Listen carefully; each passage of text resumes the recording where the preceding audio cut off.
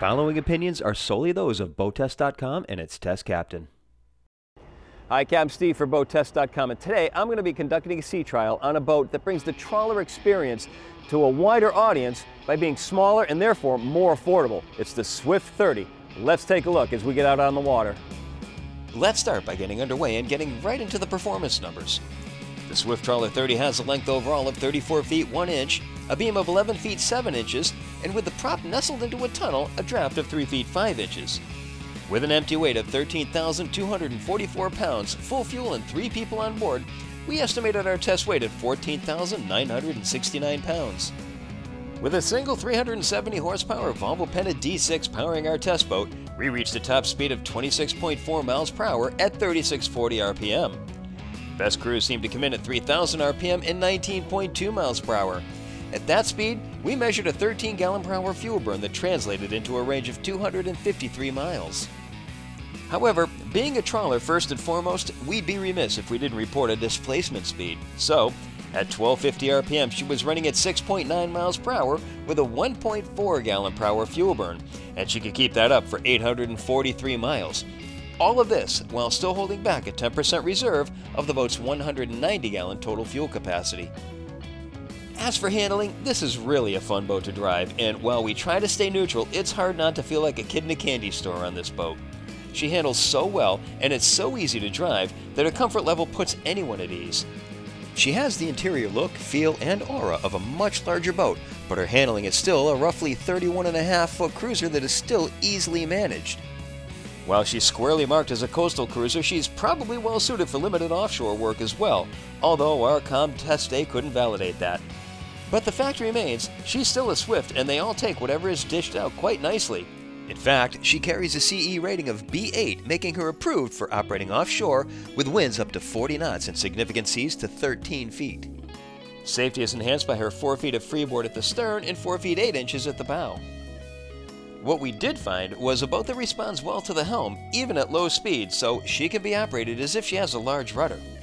Turns are brisk and sporty, so getting heavy handed could possibly get uncomfortable for guests, but for when the going gets rough, that aggressive response will come in handy, especially when tracking down a following sea. At the dock, she's a pussycat. She'll have minor steering in reverse, which any single engine handler will tell you is a valuable tool. Line her up, back her down into a slip with the wheel hard over, and a shot of forward with a little bow thrust will have her walking sideways right up to the dock. Pretty as you please.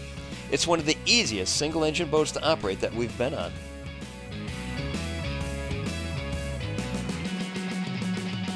Well, now that we're back at the dock, let's take a look at some of her operational features. At the helm, got rocker switches over to the left-hand side, easily identifiable by icons. On the panel itself, fuel gauge, rudder indicator, Volvo Penta EVC, and the digital ignitions. Front and center is the tachometer. Front and center, a 15-inch hybrid touch Raymarine display. Up above, the bow thruster control, trim tabs just ahead of the digital engine control so they can be manipulated while we still have our hands on the throttle. And of course the engine control has its host of optional features available. Beautiful wrapped stainless steel 24 inch destroyer wheel, cable driven to the rudder, just below footrest, and take a look at this. For the short captains, we can make it into a step, add a little bit more of a comfort level. This step also finds its usefulness when we're not using the bolster as a leaning post.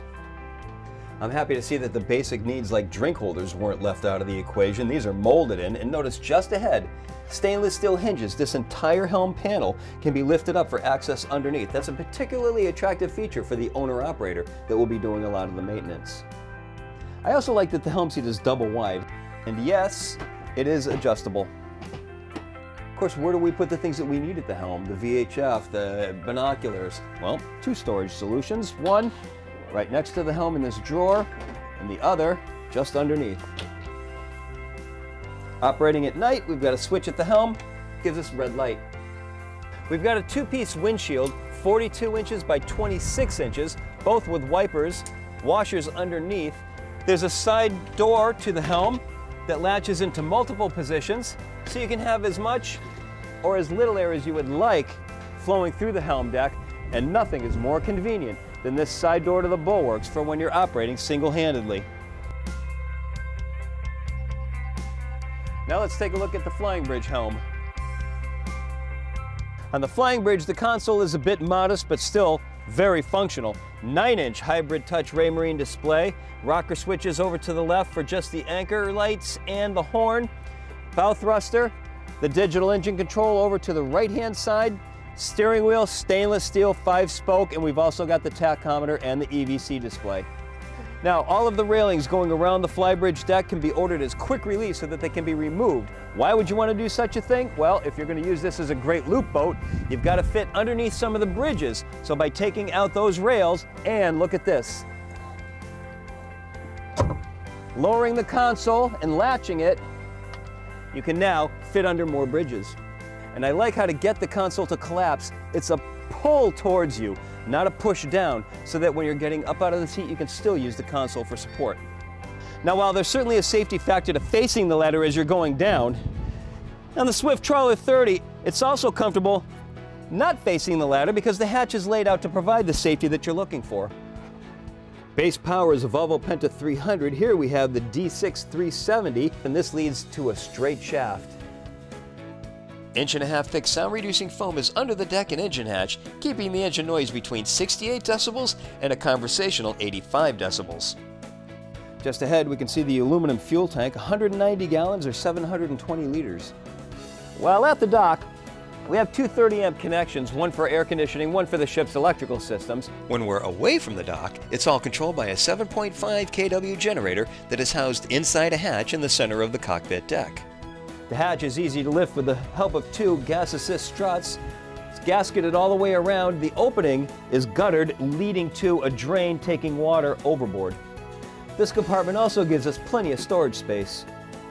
Just inside the salon doorway, we have the controls for switching from shore power to generator power, inverter controls, the Onan generator start-stop switch, battery and water tank condition, and the 110 volt breakers just inside this panel.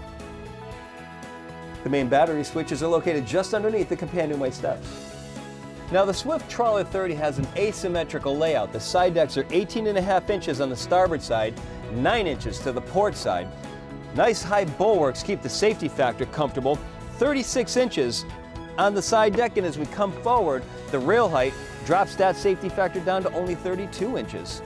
Fully forward, we've got a Lewmar windlass leading out to a stainless anchor roller.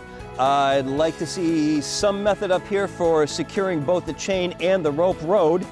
Over to the starboard side, we have access to the rode underneath, plus the remote control.